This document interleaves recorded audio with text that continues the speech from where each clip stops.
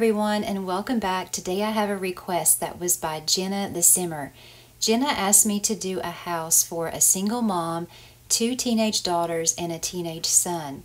So I've used the Wizard's Cottage lot, and I love this lot. I have not used it in so long. I can't even tell you the last time I used this lot, and I don't know why because it's gorgeous.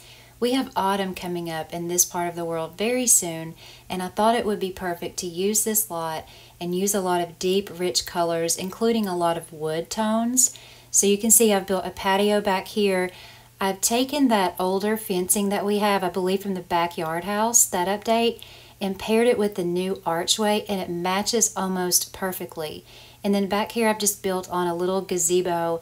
Where it's on a large lot, it won't let me give you a better angle with those lots, it kind of won't let you go back very far, but you can see pretty much what's in there. It's one of the round fireplaces, a nice place to sit, some candles, and some flowers in there. And I put the chalet wood walls on the inside and a stone floor. So that is the backyard area. I think it's beautiful, especially with the leaves on the ground. So up front here, I've also used a lot of color as in the flowers. Right here at the entryway, those look like mums, those fall flowers that we get, the bright reds and yellows and orange. So I thought those would be perfect there, that little flower box at the entryway. So you come straight into the living room. There is some contrast in the house, but again, I tried to use nice, deep, rich tones in the house. So I used the teal because I love the cushion on that couch, how it matches that and it kind of pops out and you can see all the wood tones in this room with the doors, the TV, a little bit on the fireplace. There's the bookshelf over there. There's an exit right there out to the patio. And there is some contrast in that the black sort of pops out with the couch, chair, ottoman, and TV, and that table back there with the decor on it, and also the black archways through the house. So this is just the central hallway with the staircase. I've just put a painting in there. But then you come through here, again, more deep, rich tones. I love this dining room. So we have the red-ish color on the wall, the black table, and then the black chairs, and then that old Scandinavian table right there, the dining table, kind of looks like the legs on the side table. So I tried to balance out the colors, and then we have the orange there in the painting with the fruits, and also with the lamps on the table. So I think that's a nice balance of color. And then you come in here to the kitchen. This room's a little bit brighter because the cabinets are so white, but I thought the chalet cabinets and countertops would look really nice in here with that black flooring. I also love the fact that we have that dishwasher that matches up with those countertops and then we just have the fridge over here on the other side. So there is a lot of contrast in this room because of the blacks and whites, but I also tried to integrate some of the wood tones in there as well, even if it's just from the tone on the wall with the gold. So let's go back through here into the master suite. This is where the single mom is. She has her bedroom back here. She has big doors out to the patio. I've given her the plum or mauve colored traditional looking bed. I thought the bedspread would look good with that armoire and the tops, the nightstands there definitely all sort of balance the color out in the room. Throughout the house, you'll see that brown tone carpet. I thought that would look good with the wood tones as well. She has a nice seating area there and a TV. And then you come in here to her ensuite bath. There's the bathtub there. And then on the other side, we have the vanity. And then we come through the door here and you come into the part where she has her shower and toilet. And you'll see two doors there. And one of them goes to a closet which you'll see here in just a second but I'm trying to give you a better view of that shower area. And then there's an archway here just to a small laundry area. And then there's her walk-in closet. So it's a rather nice master suite if you wanted to use this floor plan of course you could decorate it any way you wanted to but I really like how the layout turned out on this home and then up front here for everyone else that's on this level, there is a half bath that I've used the spa items in as well. See all the different wood tones? I think that looks really pretty with that red color.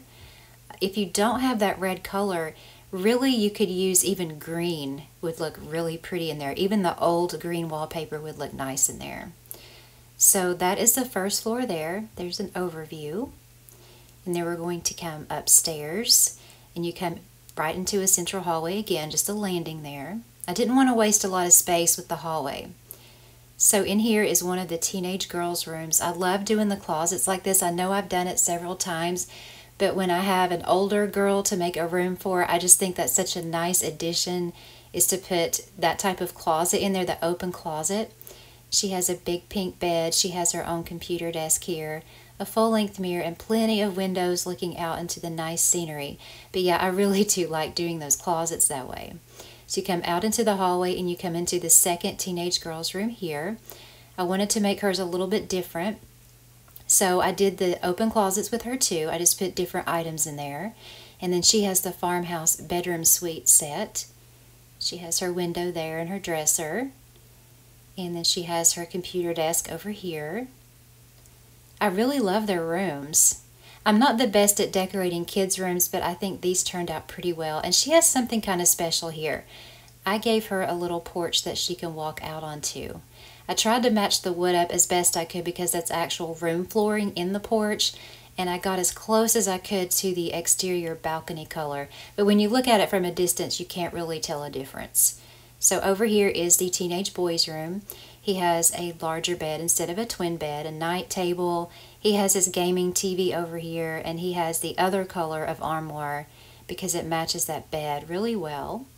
He has a little lamp there, and that blue color on the wall I picked because it brings out the cushion on his bed there, the pillow. So coming in here, now this could be a, a uh, fifth bedroom. So that, that would make four bedrooms upstairs and one bedroom downstairs for the master. So you would have to imagine this couch here would maybe be for company and it lets out into a, like a sofa sleeper. But here is just an area maybe where the mom would do some work from home.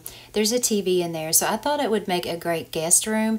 You could make it any type of room that you wanted to. And I also included a closet over here and just put the vacuum cleaner in there. So yes, that's like a guest room for this home. And it walks out onto a balcony that overlooks that beautiful backyard. I think that's so pretty. And uh, again, I'm not the best at landscaping either, but I do like how this one turned out. So coming to the end of the hall, we have the family bathroom upstairs. Here's the vanity area. I've used the spa items again because I like the wood tones. There's one of the newer tubs. And then here's the shower and toilet. And I've also included a clothes hamper. So that is the second floor there. We'll look at the overview of that and then we're going to go to the grid. And again, make sure you stay tuned to the end of the video for the furniture placement and the decor. So we have that dining area and then I built on the living room and the bathroom up front here, the half bath. Then I put the stairway here. Then I built on the kitchen. Next, the master bedroom. And then the vanity and tub area, shower and toilet, laundry area and that left me just enough space for a walk-in closet. Then you come up to the landing here, which was already built when I built the stairway downstairs. Then we have the bedrooms and their closets. And there's the other girl's bedroom there and her closet. And then we have that little porch on the front there. Then the guest room or office and a closet. Then we have the family bathroom and shower and toilet area. Very simple build. I absolutely love the layout and I loved doing this request. So thank you so much, Jenna.